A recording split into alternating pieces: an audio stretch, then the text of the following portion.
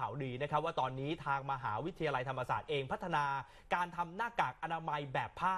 คือจะทำให้มีประสิทธิภาพมากขึ้น ไปอีกสำหรับบุคลากรทางการแพทย์ เป็นหน้ากากอนามัยแบบผ้าที่สะท้อนน้ำได้อ๋อนะครับป้องกันการติดเชื้อได้เป็นอย่างดีเนี่ยคุณคุณผู้ชมจะเห็นว่าลักษณะจะคล้ายกับหน้ากากผ้า ซึ่งก็เป็นผ้าจริงค่ะๆแต่เขาเป็นผ้าชนิดพิเศษที่สามารถสะท้อนน้ำได้อ่าจะเห็นน้ำหยดเป็นเม็ดเลยนะฮะอันนี้เป็นการร่วมมือกันของมหาวิทยาลัยธรรมศาสตร์ โดยโรงพยาบาลธรรมศาสตร์เฉลิมพระเกียรตินะครับเขาสาธิตให้ชมว่าหน้ากากอนามัยแบบสะท้อนที่ทางมหาวิทยาลัยธรรมศาสตร์ โดยคณะวิทยาศาสตร์และเทคโนโลยี และก็คณะทำงานป้องกันและควบคุมโรคไวรัสโควิด -19 ของมหาวิทยาลัย ร่วมกันคิดค้นศึกษาวิจัย จะเห็นว่ากันน้ำได้ดีครับ ไม่ไม่ดูดซับน้ำเลย เป็นงานวิจัยหน้ากาก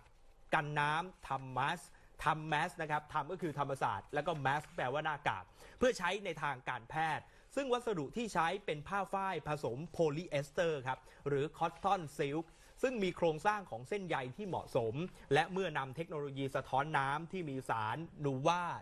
1811 ซึ่งมีอนุภาคเป็นระดับไมครอน สามารถที่จะแทรกเข้าไป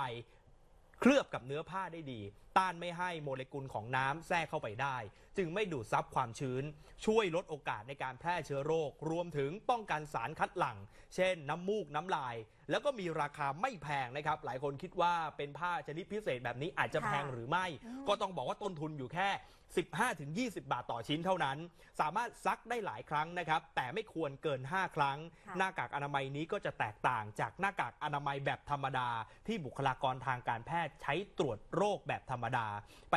ฟังเสียงนะครับรองอธิการบดีมหาวิทยาลัยธรรมศาสตร์ครับเพราะฉะนั้นหลักสำคัญของ surgical mask ที่เราใช้ในปัจจุบันก็คือว่า ด้านนอกเนี่ยจะเป็นสารที่ไม่ดูดซับความชื้น ในขณะที่ด้านในเนี่ยเรามีผ้าที่มันที่หายใจสะดวกนะคะ เพราะฉะนั้นเนี่ยตัวนี้ก็คือมีคุณสมบัติใกล้เคียงกับ surgical mask หรือเทียบเท่าเลยนะคะ เพราะด้วยลักษณะด้านผ้าแต่ว่ามันไม่ใช่เฉพาะเนื้อผ้าอย่างเดียว เพราะว่าผ้าชนิดนี้เป็นผ้าที่มีเคลือบสารที่มีระดับ อนุภาคขนาดเล็กทำให้แทรกซึมไปในเนื้อผ้าได้ เพราะว่ามีหลายคน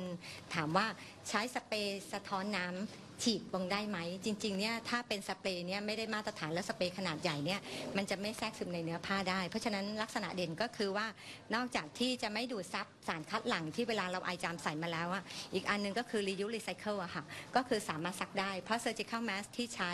ในทางการแพทย์เนี่ยต้องใช้ครั้งเดียวแล้วทิ้ง แต่หน้ากากชนิดนี้เนี่ยสามารถซักได้โดย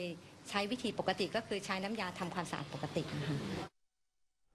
โดยเบื้องต้นทางมหาวิทยาลัยก็จะใช้ก่อนในโรงพยาบาลของสังกัด ก็คือโรงพยาบาลธรรมศาสตร์เฉลิมพระเกียรติ 1,000 ชิ้นนะครับ หลังจากนี้ทางมหาวิทยาลัยก็จะเปิดการอบรมการผลิตหน้ากากอนามัยสะท้อนละอองน้ำแบบนี้ให้กับประชาชนต่อไปครับ